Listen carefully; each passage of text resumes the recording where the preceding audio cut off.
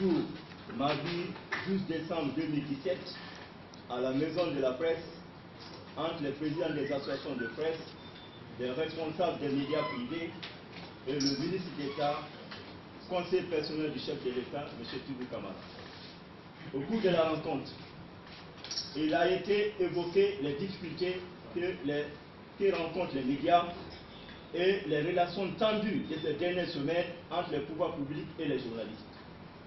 Tous les intervenants ont déploré cette situation et ont souhaité un dialogue avec les autorités dans le but de trouver une solution qui préserve les intérêts de toutes les parties. Parmi les difficultés que rencontrent les médias privés, on peut citer 1. L'attribution des agréments 2. Les paiements des redevances 3. Le renouvellement ou l'obtention des licences 4. L'identification du personnel des médias à la Caisse nationale de sécurité sociale et les contrats de travail 5. Le paiement des impôts. Les associations de presse, si elles reconnaissent exercer dans les conditions qui ne respectent pas toujours la réglementation à la matière, elles invoquent les tracasseries rencontrées souvent quand elles entament les démarches pour régulariser leur situation. À ce propos, elles demandent aux autorités concernées de faciliter les formalités nécessaires à leurs activités dans les relations avec l'État. Les associations de presse ont déclaré être les premières à vouloir exercer en toute légalité pour pouvoir juger pleinement de leurs droits et de leurs devoirs et de leurs libertés. Elles lancent un appel à tous les membres et adhérents à prendre toutes les dispositions en fait de se conformer au texte de loi régissant la presse en Guinée. En attendant, il a, elle a été recommandé que les radios et organes d'information qui ne disposent pas d'un agrément soient interdits. Les radios et organes d'information qui ne disposent pas de licence soient interdits. Les radios et organes d'information qui disposent d'un agrément n'ayant pas bénéficié de licence puissent disposer de leur licence. Les associations de presse ont demandé l'implication personnelle du chef de l'État pour la réouverture des radios fermées et aussi pour mettre fin à la campagne de fermeture des radios, des, stations de radio privées.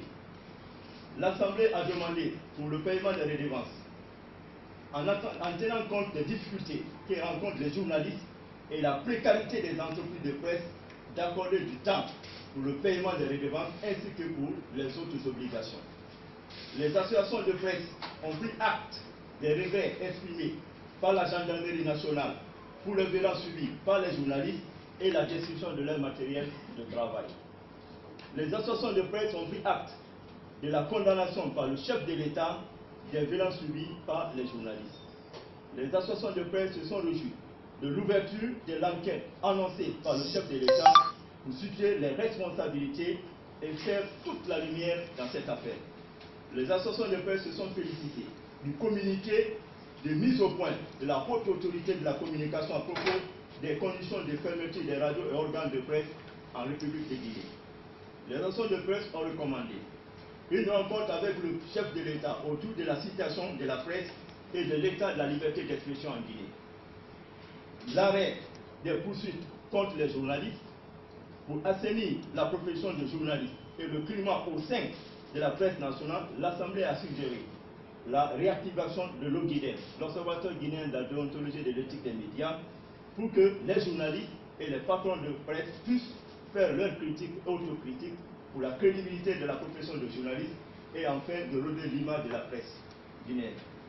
Enfin, la date du mercredi 16 janvier 2018 a été proposée pour l'organisation de la journée nationale de la presse. Un comité d'organisation va être mis en place pour préparer la dite journée. Avant de lever la séance, la réunion de concertation a recommandé une assemblée générale le mercredi 13 décembre 2017 à 11h à la maison de la presse avec les journalistes afin de partager les recommandations issues de la réunion de concertation du mardi 12 décembre 2017.